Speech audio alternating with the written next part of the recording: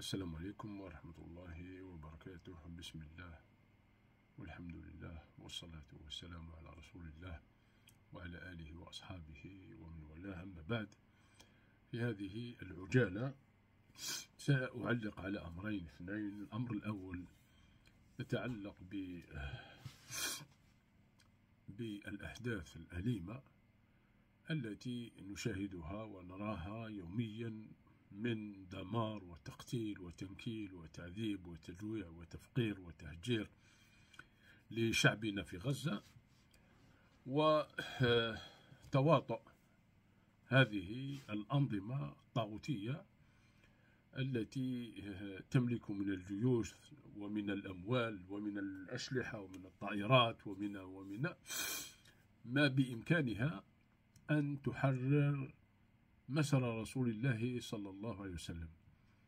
هذه الدول ليس لها الشرف أن تكون هي من تحرر المسجد الأقصى.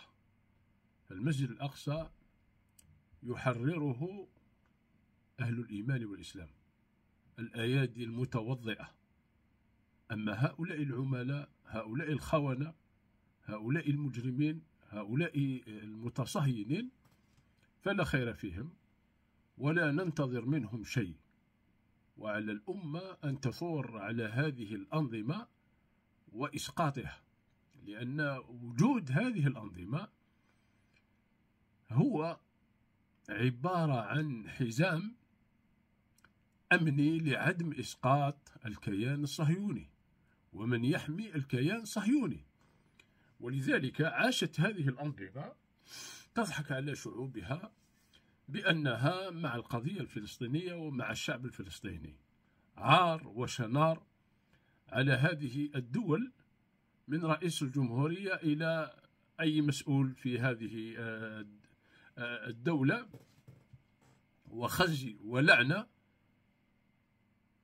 لهذا السكوت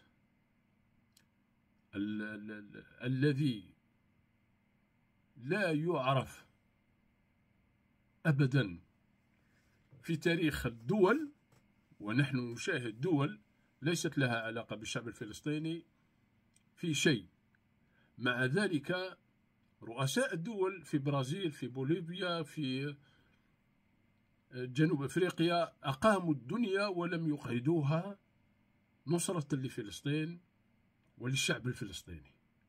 ولما رأوا من هذه المجازر التي ترتكب وتواطأ دولي بما في ذلك هذه الدول التي يجب على الشعوب أن تسقط هذه الأنظمة.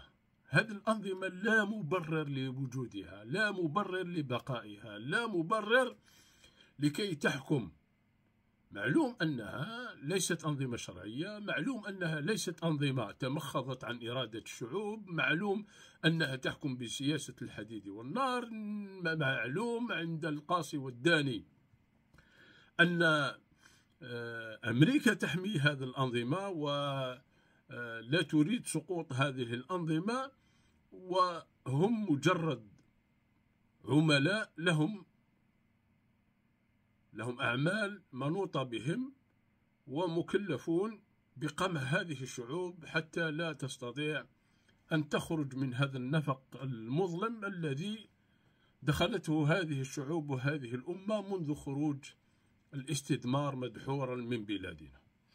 ولذلك قضية فلسطين هي قضية قضية كل مسلم المسلم الذي لا يتكلم على فلسطين ولا ينافع عن الشعب الفلسطيني ولا يساعد الشعب الفلسطيني بأي شيء يستطيع وبأي شيء يملك فهذا لا يسمى مسلما.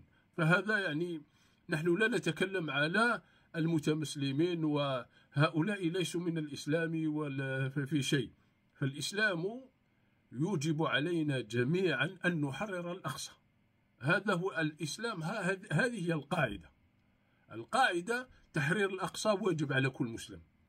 إذا عجز أهل فلسطين فرض عين على من يلونهم ثم الذين يلونهم وهكذا.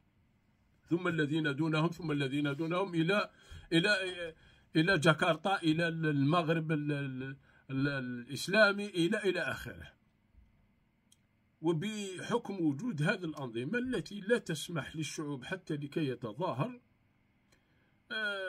هذا إن دل على شيء يدل على خذلان هذه الأنظمة وعمالتها وخستها ونذالتها وحقارتها وأنها لا تساوي شيء بين بين الأمم وبين الدول وهي مجرد دول وظيفية وتقوم بوظيفة لتجسيد المشروع الصهيوني في منطقتنا.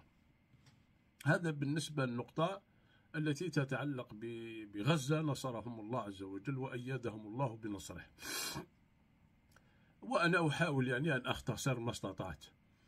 النقطة الثانية تتعلق بالخسيسي النذل الحقير آه الذي آه ومن يؤيد هذا الحقير ومن يقف معه ومن ينافح عنه ومن يبرر له أفعاله ومن ينافع عنه ولو بشطر كلمة. فهؤلاء لعنة الله عليهم والملائكة والناس أجمعين. في هذه الأيام قرارات لإعدام قيادة الإخوان. منهم بديع بديع هذا الذي لا يعرفه ربما كثير من المصريين هذا بديع قاوم بنفسه المحتل. لما دخلت بريطانيا إلى مصر كان من المقاومين. وتصور هذا النذل الحقير العميل يقوم بإعدام هؤلاء الذين الشعب المصري انتخبهم في خمس استحقاقات وكانت لهم الأغلبية.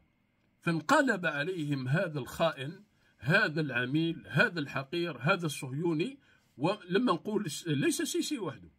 لأن من يؤيد السيسي ومن يحمي السيسي ومن يقف مع السيسي صهيوني مثله. ولذلك لا فرق بين السيسي بل الذي يحمي السيسي من الجندي والشرطي والمخابرات والعسكري وهذا شر من السيسي. لأن السيسي من أجل مصلحته ومن أجل بقائه. ومن أجل أن يملك ومن أجل أن يحكم من أجل أن يرث من أجل أن يورث الحكم لابنه. آه هذا هو الحاصل. هذا هو فعل السيسي. أما الشعب المصري فليذهب إلى البحر. فالشعب المصري دم الرئيس مرسي في رقبته. ولا يسقط الإثم عن الشعب المصري حتى يسقط هذا النظام. حتى ينتفض الشعب المصري ويسقط هذا النظام. لأن دم الرئيس مرسي في أعناق الشعب المصري. لأن الشعب المصري بايع مرسي. وبايع في خمس استحقاقات الإخوان. قد نختلف مع الإخوان قد نتفق معهم ولكن هذا لا يجعلنا أبدا أن نسكت على الباطل الذي تعرضوا له. والإخوان أنماط. عندنا في الجزائر إخوان لكن هم لا أكثر من من من الأحزاب العلمانية الموجودة في البلاد. ففي قراءتي للأحداث عندنا في الجزائر أن الأحزاب التي صبغتها إسلامية والشخصيات التي صبغتها إسلامية التي هي تعيش تحت مظلة النظام وبين أحضان النظام هذو شر من العلمانيين حقيقة ويستعملون اسم الدين ويوظفونه باسم الإخوان وباسم كذا ويفعلون ذلك. فهؤلاء يعني لا يستوون مع الإخوان في مصر. الإخوان في, في مصر رجال. أفضل ما أنجبت مصر هؤلاء الرجال الذين الآن سوف يعدمون في هذه الأيام. واختار عدو الله هذه الأيام نكاية نكاية في المقاومة لأنه يعتبر أن الإخوان إخوان سواء كانوا حماس أو كانوا غيرهم. ونكاية في الشعب المصري كذلك. لأن ما معنى الشعب المصري ينتخب هؤلاء ثم هو يقوم باعتقالهم وسجنهم؟